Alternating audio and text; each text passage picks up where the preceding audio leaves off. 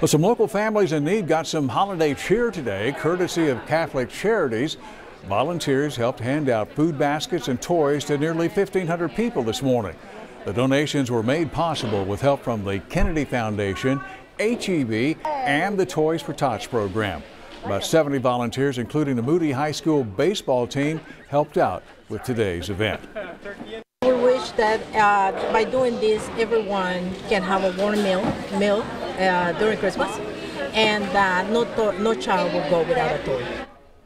Catholic Charities has been handing out these food baskets here for the past 52 years, and Toys for Tots has been taking part for the past 37 years.